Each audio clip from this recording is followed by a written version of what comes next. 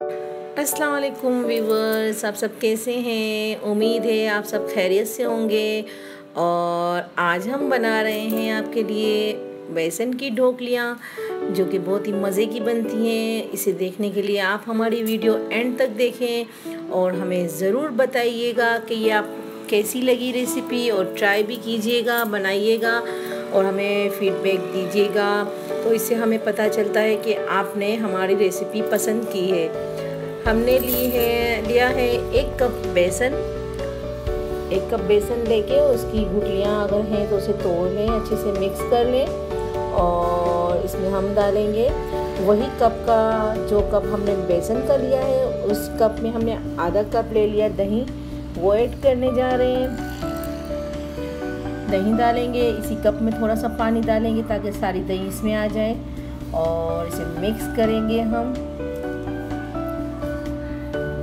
इसमें पानी लगभग एक गिलास से थोड़ा सा कम जाएगा। इसका हम गाढ़ा सा पेस्ट बनाएँगे। तो इसमें डालेंगे दही के कप में ही पानी डाल के हम डालेंगे ताकि हमारी दही ज़ाया ना जाए और इसे हम अच्छे से मिक्स करेंगे।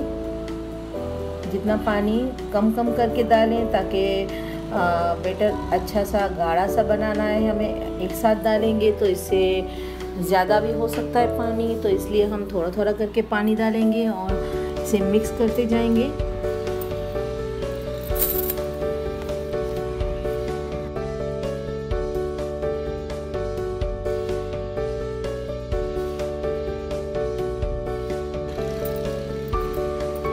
पानी डालते जाएँगे और मिक्स करते जाएँगे और इसका गाढ़ा सा पेस्ट बनाना है हमें।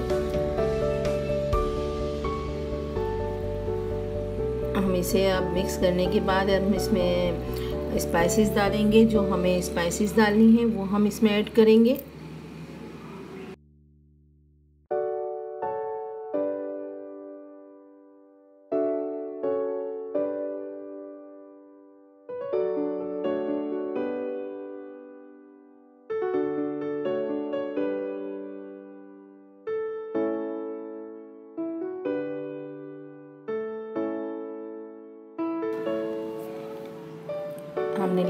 ग्रीन मसाला जिसमें लहसुन धनिया हरी मिर्चें इसे हमने चटनी की तरह पीस लिया है। एक चम्मच दो चम्मच डालेंगे हम इसमें आ, मसाले का जो हम घर में होममेड पीस के रखते हैं। मसाला वही ऐड किया है। हमने इसकी आ, रेसिपी पहले हमने आपको बता दी है।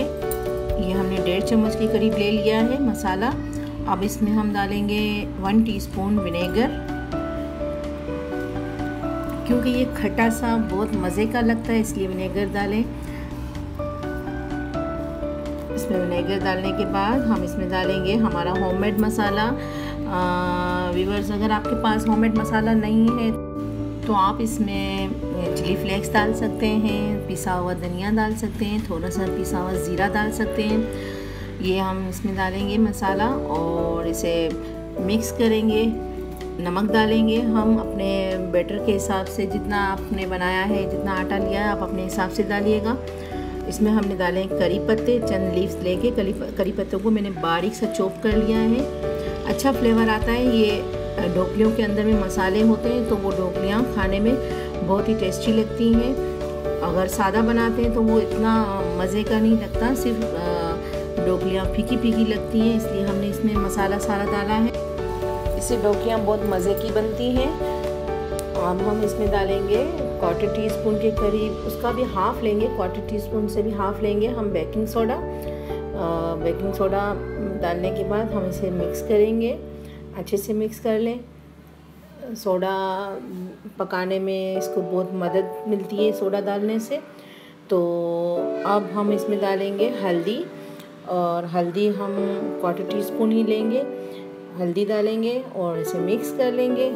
मिक्स करने के बाद हम इसे थोड़ा रेस्ट करने के लिए छोड़ेंगे, क्योंकि थोड़ा मसाला हमने जो डाला है उसका फ्लेवर एकदम से इसमें आ जाता है। थोड़ा रेस्ट करने के लिए ज़रूर रखिएगा। आधे घंटे के लिए हम इसे रेस्ट करने के लिए रख देंगे।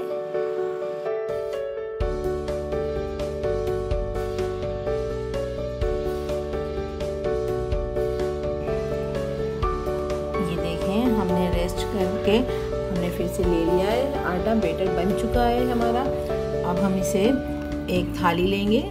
उस थाली में हम ऑयल लगा लेंगे ग्रीस कर लेंगे और इसमें हम ये बेटर डालेंगे और हमने एक पतीले में हमने पानी बॉयल करने के लिए रख दिया है जिसमें हम इसे स्टीम दिलवाएँगे।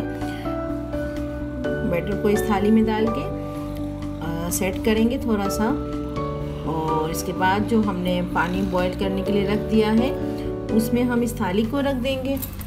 और 20 15 से 20 मिनट में वो स्टीम इसमें आ जाता है स्टीमर में जैसे, और ये अच्छे से सेट हो जाता है और जम जाती है। जैसे हम बड़ी जमाते हैं इस तरह से। ये देखें बॉयलर में पानी हमने कढ़ाई ली उसमें पानी डाला है, इसमें स्टैंड रख दिया है। इसके ऊपर हम रख देंगे ये थाली और इसे हम ढक देंगे और इसकी स्टीम आ जाएगी। तो ये पक जाएगा। फिर इसे हम 15 से 20 मिनट में हम इसे निकालेंगे। ढक देना है। अच्छे से ढक दें ताकि इस, इसकी स्टीम बाहर ना आए।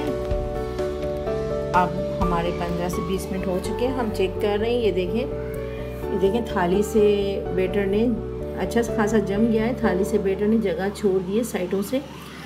अब हम इसे थोड़ी देर के लिए खुला रखेंगे, वहीं पर आ रहेगा चूल्हे पे ताकि इसके ऊपर जो नमी आई हुई है वो भी खुश्क हो जाएगी। ये देखें, खुश्क हो चुकी है, हम इस थाली को अब बाहर निकाल रहे हैं।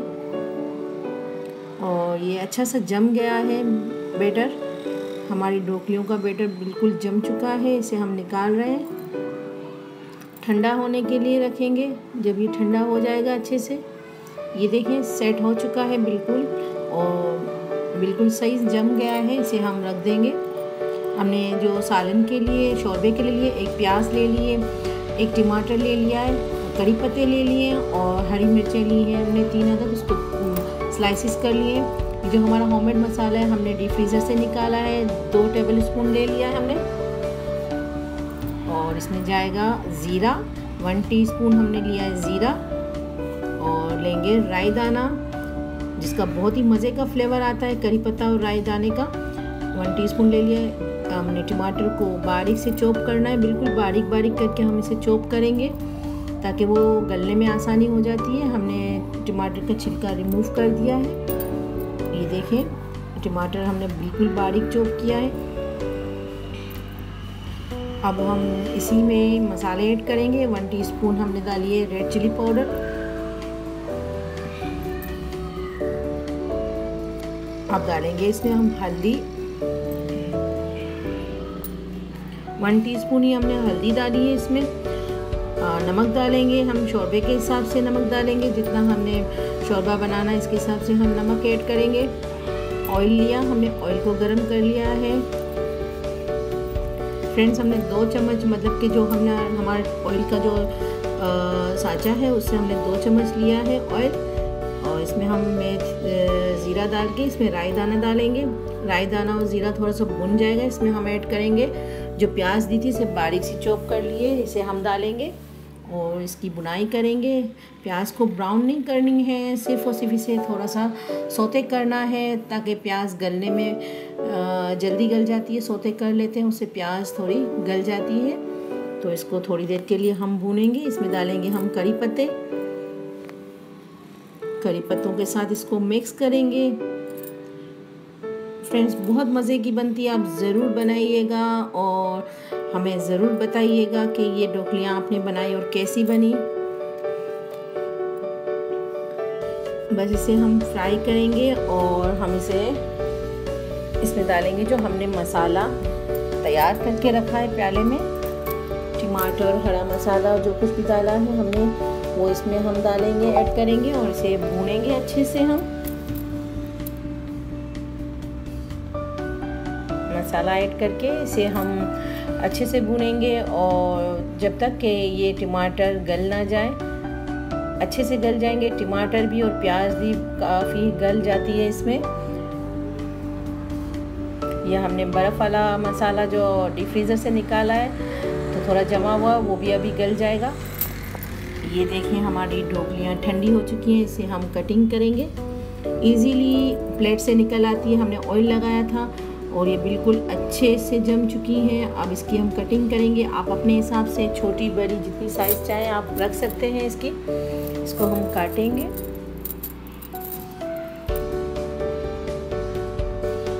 जैसे भी शेप में आपको काटना है, आप काटें इसे।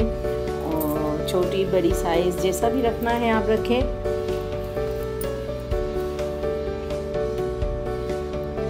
और जो ये साइड की छोटी छोटी साइड के किनारे हैं, उसे हम निकाल लेंगे और उसको हल्का सा हम चमचे की मदद से मेश कर लेंगे और जो हमने मसाला भूनने के लिए रखा है, उसमें ऐड कर लेंगे। क्योंकि फ्रेंड्स, ये जो साइटों की जो कतलियाँ हैं, इसे हम मेश करके डाल देंगे तो मसाला गाढ़ा हो जाता है।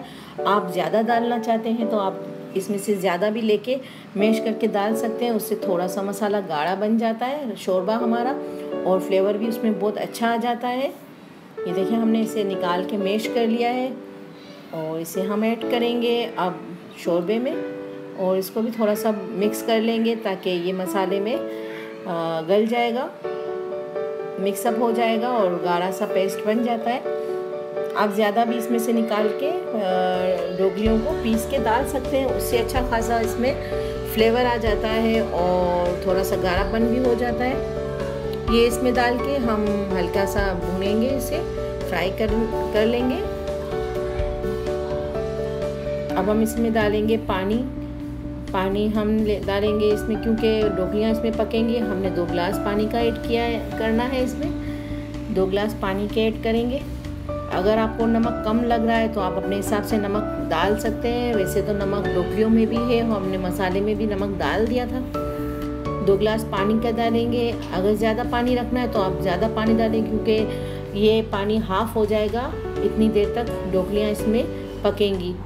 अब हम इसमें डालेंगे जो ग्रीन चिली ली थी, वो डाल के इसको बॉयल होने तक हम इसको चूल्हे पे रखेंगे। और हमने जो गुबन के लिए जो हमने दही छानने के लिए रखा था, ये उसी का पानी है। ये इसमें हम ऐड कर रहे हैं। ये फेंका नहीं जाता है। आप आटा गूंदने में डाल सकते हैं और जो दही का पानी होता है, बहुत ही अच्छा होता है, ताकतवर होता है। अब हम इसमें डालेंगे ये डोकलियाँ सारी डोकलियाँ हम इसमें ऐड कर लेंगे और इसे हल्के हल्के हाथों से हम मिक्स करेंगे।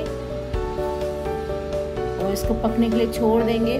हल्का सा ढक्कन ढकना है, पूरा ढक्कन नहीं ढकना है, वरना ये बिल्कुल गल जाती है। वैसे तो नहीं गलेंगी क्योंकि ये बेसन है अच्छी खासी जैसे गाढ़ा पेस्ट बना के रखा था हमने तो अच्छा सा जम गया है। ये देखें हमारा ढोकलियाँ, हमारी ढोकलियाँ तैयार हैं, हम डिश आउट कर रहे हैं। फ्रेंड्स, अगर आप हमारे चैनल पर न्यू हैं तो हमारे चैनल को लाइक कर दें, सब्सक्राइब कर दें और अपने फ्रेंड्स को शेयर कर दें और बेल आइकन को प्रेस कर दें ताकि हमारी न्यू आने वाली वीडियो आप तक पहुँच जाए। और ये हमारी रेसिपी आप ज़रूर ट्राई कीजिएगा। बहुत ही मज़े की है, बहुत ही अच्छी बनी है। आप ज़रूर बताइएगा हमें कि ये आपको कैसी लगी recipe